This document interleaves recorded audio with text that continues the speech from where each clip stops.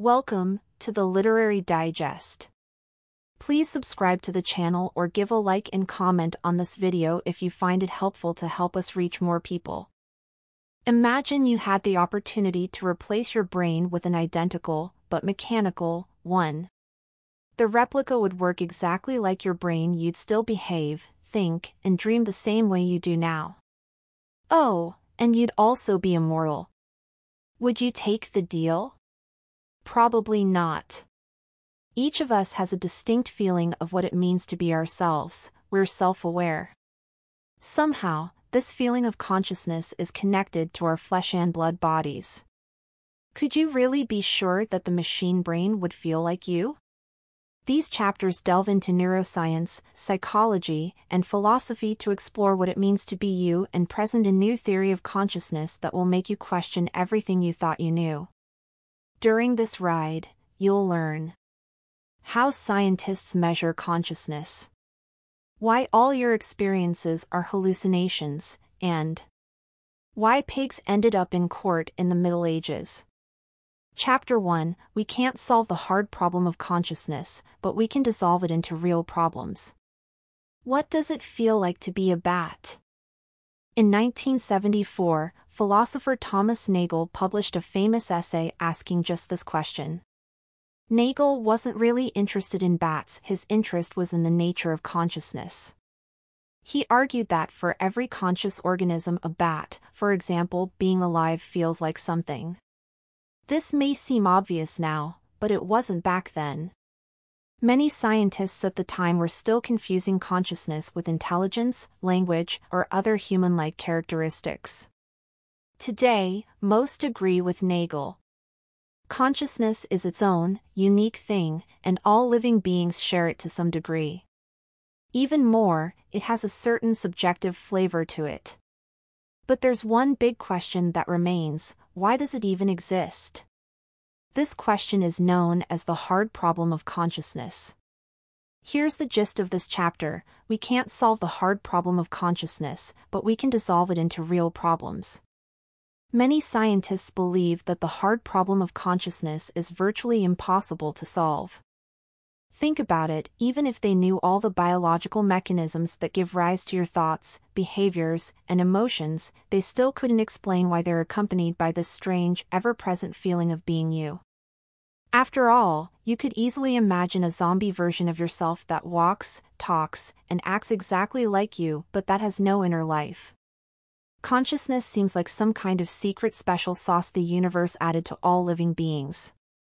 But that doesn't mean we can't find out what the ingredients are. Science already has many tools and theories to explain different conscious experiences, we just need to put it all together. Sound lofty? Well, science has done it before. Before the 20th century, the biological property of life was just as mysterious as consciousness. The philosophy of vitalism proposed that there was some special, supernatural energy present in all living beings. But as biology progressed, and scientists began studying extreme cases like single-celled organisms and viruses, they started to understand that being alive wasn't some mysterious all-or-nothing property. It was more like a scalable collection of different biological processes. So, while we might not be able to solve the hard problem of consciousness outright, we might be able to dissolve it by studying different aspects of consciousness. The author calls those the real problems of consciousness. For example, we could study how activity in the visual cortex gives rise to the experience of seeing something dark red versus seeing something light red the more we can explain about how physical patterns in the brain correspond to conscious experiences, the less mysterious consciousness will become. Chapter 2 There are different levels of consciousness, and scientists are close to measuring them accurately. Consciousness is a complex thing.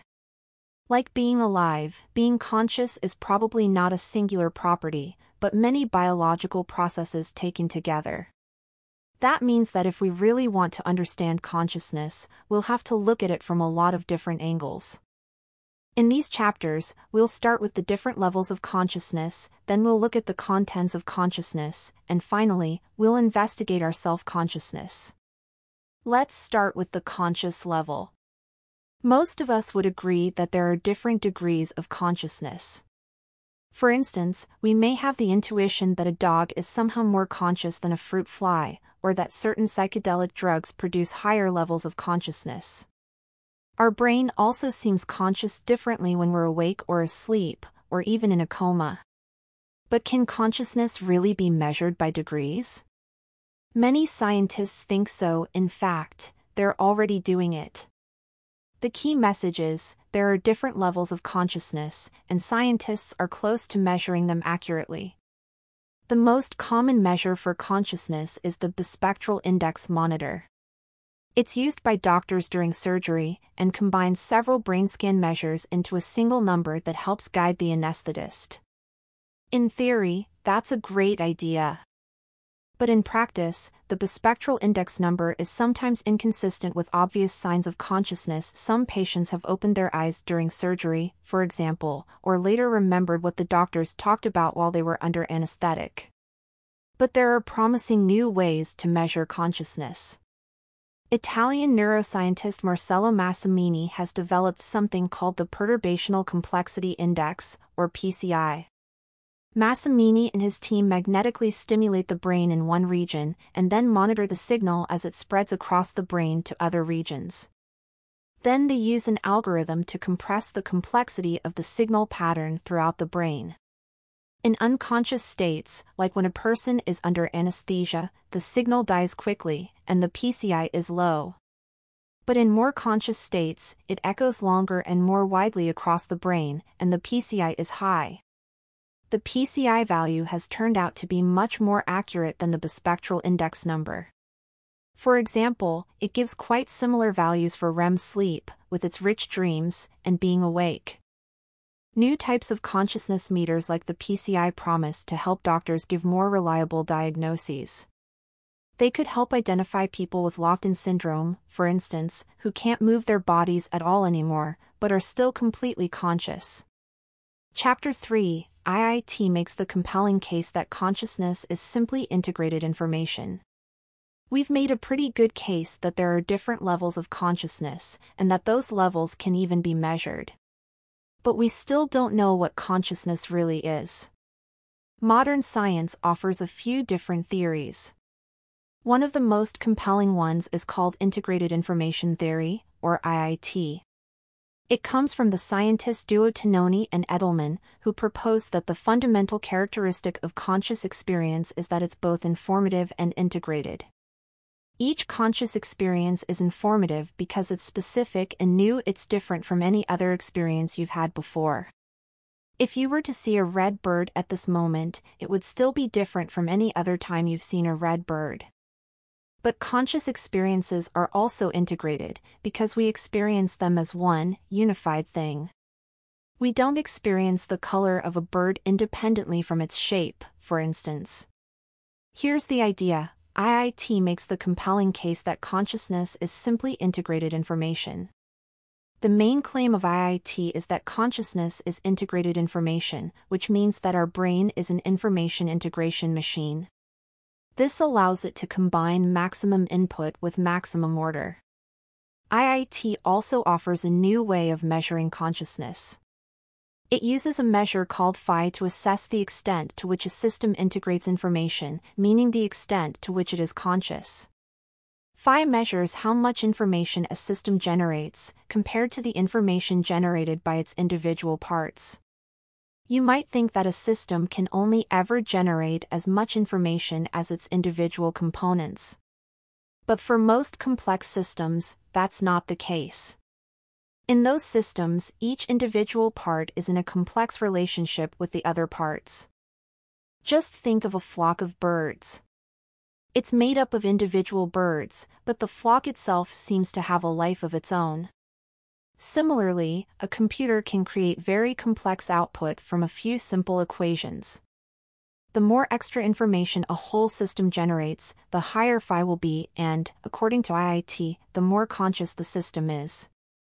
Naturally, systems that score low on information and systems that score low on integration will score poorly with phi, too. The human brain, with its billions of interconnected neurons, should score extremely high. There's just one catch, measuring phi in practice is virtually impossible. In mathematics, information is generated when uncertainty is reduced. Rolling a die generates more information than flipping a coin, for example, because the numbers on the die rule out other possibilities. So in order to measure the information our brain generates, we would have to know all the possible ways it could behave. But at present, we can only record what the brain does, not all the things it could possibly do. So the most important measure of IIT is still scientifically untestable. But as a piece of philosophy, IIT makes for a compelling theory of consciousness.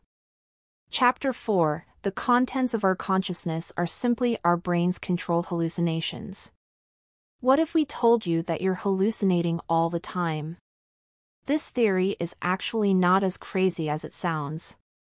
In this chapter, we'll turn to a second aspect of consciousness, content and we'll discover that what we consciously experience as real is just our brain's best guess at reality. Whenever we are conscious, we are conscious of something, sights, sounds, smells, or our own thoughts often all of them at once. And usually, we have a distinct feeling that what we are conscious of corresponds directly to what's out there in the world. But that's not really the case. Our senses are not like windows that allow our brain an unfiltered view of the world. Far from it. Our brain is actually blind, deaf, and unfeeling. It just does its best to make sense of the nerve signals coming in from our sensory organs. Here's the key idea the contents of our consciousness are simply our brain's controlled hallucinations. Scientists have long understood that our senses are not perfect instruments for processing reality. But for a long time, they were at least sure of the direction in which the process worked. Our senses pick up signals from the outside world, pass them onto the brain, and then the brain tries to make sense of them. But what if it is really the other way around? In the 19th century, German scientist Hermann von Helmholtz came up with a radical new idea. He suggested that any perception was a process of unconscious inference. Drawing on past experience, our brain is constantly forming hypotheses about what's out there in the world, and then uses sensory signals to correct those hypotheses. Conscious perception doesn't work from the outside in, but from the inside out. This is what makes the contents of our consciousness like hallucinations, our brain is essentially making them up. Luckily, these are usually controlled hallucinations. It's true that our brain constantly makes predictions about the world, but it uses sensory signals to correct those predictions. In real hallucinations, our perceptual expectations are so strong that they become untethered from external reality. In many ways, what we call reality is just the perceptual hallucinations we all agree on. So, is the whole world just a dream? No. There's a physical world out there, and its physical objects have primary qualities like texture, motion, and the occupation of space. But their secondary qualities like color, taste or smell all depend on our perceptions of them. Chapter 5 Our brains are Bayesian prediction machines, using prior beliefs to make best guesses about the world. So the world we perceive is just a controlled hallucination of our brain, based on best guesses. But how does our brain make those guesses?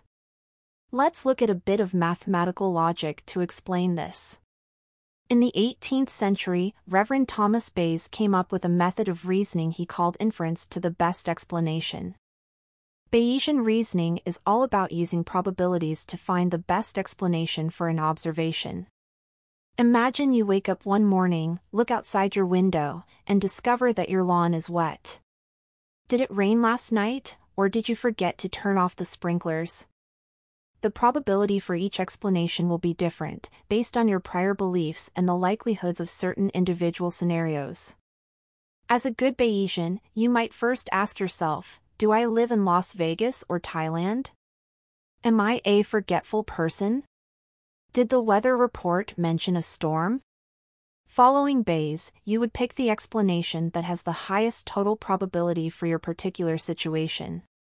The key message here is, our brains are Bayesian prediction machines, using beliefs to make best guesses about the world. Bayesian reasoning is used everywhere in science, from medicine to military strategy.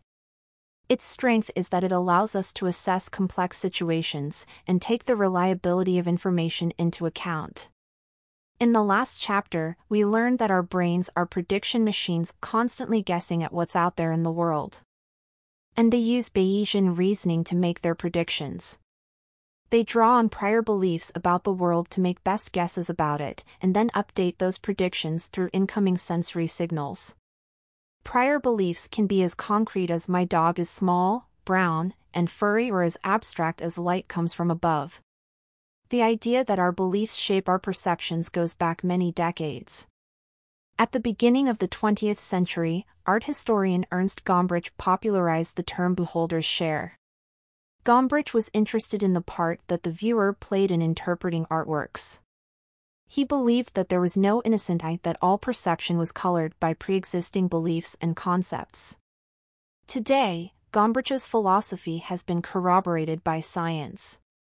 Author and researcher Zare Pinto, for instance, showed that we perceive things more quickly when we expect them. In his experiment, rapidly changing geometrical patterns were flashed in one of the participants' eyes, while a picture of a house or face was slowly faded in before the other eye. When people had been told to look for a house, they were quicker to detect the house than the face, and vice versa, demonstrating that expectation influenced the speed of perception. Chapter 6 Your sense of self is the product of many controlled hallucinations working together. Now we turn to the third and final component of consciousness, our self-perception. Just as Thomas Nagel suggested in his essay, being you feels like something. So does that mean that there's an actual self, some immaterial soul, hidden deep inside of you? Well, not really. Your sense of self is just another controlled hallucination of your brains. And it's actually not a single sensation, it's made up of many different aspects. The first is embodied selfhood. In some important way, we feel that our body belongs to us. Then there's perspectival selfhood, we perceive the world from a particular point of view. Next, there's volitional selfhood or free will, we believe that our actions are under our control. Then there's the narrative self, our sense of personal identity, built from our unique history and experiences. And lastly, there's the social self, the part of us that is aware of how others might be perceiving us. Here's the main idea your sense of self is the product of many controlled hallucinations working together. Of course, you don't perceive these different aspects as distinct from each other. They're all mingled together in an overall sense of being you.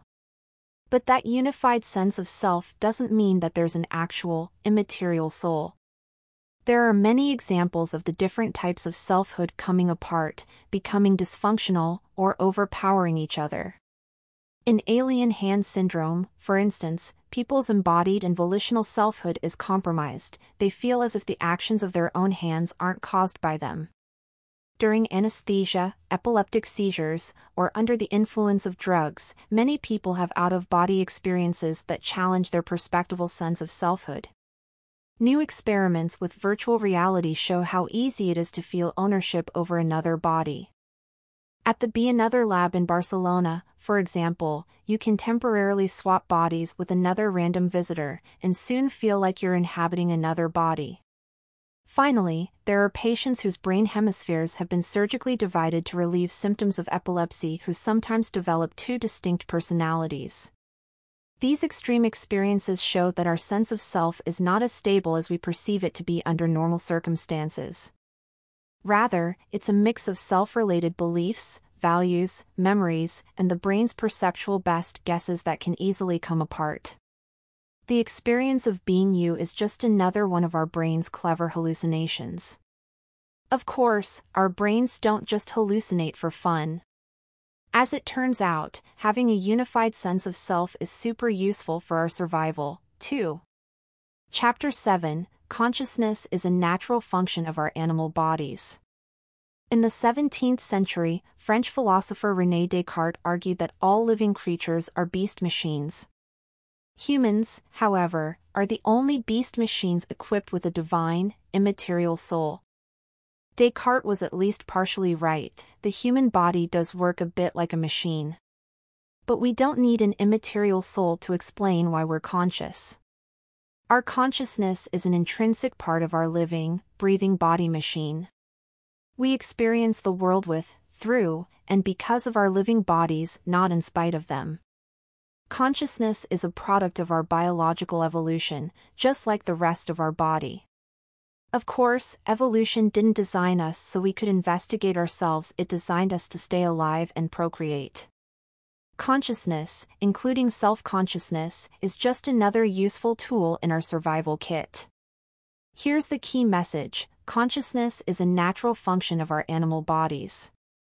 In order to understand why consciousness is useful for survival, we need to take a detour to a long-forgotten field of science cybernetics. In the 1970s, cybernetics was a trending research subject exploring how animals and machines control their bodies and communicate. Cybernetics enthusiasts William Ross Ashby and Roger Conant, for instance, pioneered the idea of control-oriented perception. Animals need to regulate their essential bodily functions, like body temperature and oxygen levels, which must stay within strict limits.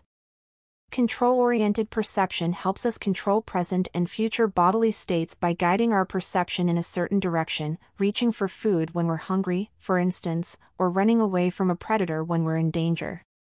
Indeed, all animals are constantly fighting the second law of thermodynamics, the tendency of any system to disintegrate over time, toward higher entropy or chaos. Being alive means being in low entropy. This is why all animals create perceptual models of their environment that allow them to make predictions, take action, and minimize entropy.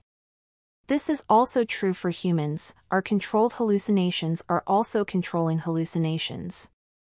Take self-consciousness as an example. Our sense of a volitional self is useful because it makes us feel that we could have done things differently than we did in a situation. Given all the physical and biological factors that influenced us at that time, this probably isn't true, we likely couldn't have acted differently. But the feeling of volition is useful for learning, it means that next time, we actually will be able to do things differently. Our experience of volition helps us navigate the world and learn from our previous actions. On this reading, our sense of free will might be just another controlled and controlling hallucination, albeit a very advanced one. But what about the other creatures out there? Chapter 8 All living beings are conscious to some degree, and it's likely that consciousness depends on biological processes.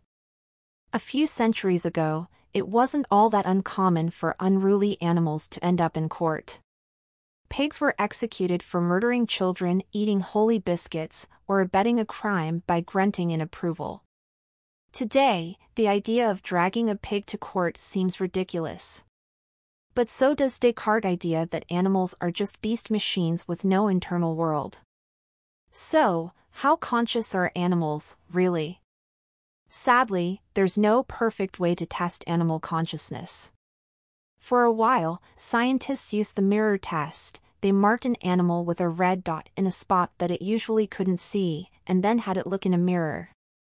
If the animal reacted to the spot, that meant it recognized its reflection as itself. Humans from the age of three onwards easily pass this test. But with the exception of some great apes, a few dolphins, and a single elephant, every other mammal has failed the test. Even dogs and monkeys flunk. So, what's the key message? All living beings are conscious to some degree, and it's likely that consciousness depends on biological processes. In the mirror test, self-recognition is meant to serve as proof of consciousness. But there could be many reasons why animals fail to pass, and even if they don't have self-awareness, they're probably still conscious. Most people have the intuition that mammals, even birds and fish, have some degree of consciousness. Indeed, all of them show similar brain activity to us in sleeping and waking states. But we can't just go by how similar they are to humans. There's increasing evidence that animal consciousness can be very different from our own. The most famous example is the octopus. Octopuses are extremely clever, but their nervous system is very different from ours. It's almost like their brains are spread throughout their entire bodies, and their limbs have a consciousness of their own. Still, no octopus has ever passed a mirror test. But what about non-biological creatures? Will our computers ever be conscious? Sci-fi writers, futurists, and fans of AI, or artificial intelligence, think it's possible and that it will, in fact, happen any minute. But if consciousness is the sum of the human brain's controlled hallucinations about itself, our bodies, and our environments, it's not entirely clear how a machine could ever replicate this dynamic. Our consciousness is deeply entrenched in our existence as living, breathing, biological beings. Every cell of your body contributes to the feeling of being you. Final summary consciousness is a complex phenomenon, but it's not the unknowable, divine spark that some philosophers make it out to be. Rather, it's a natural function of our living breathing bodies. It's the sum of our brains' controlled hallucinations about the world, our bodies, and ourselves. As science continues to study all the different aspects of conscious experience, we will slowly unravel the mystery of consciousness.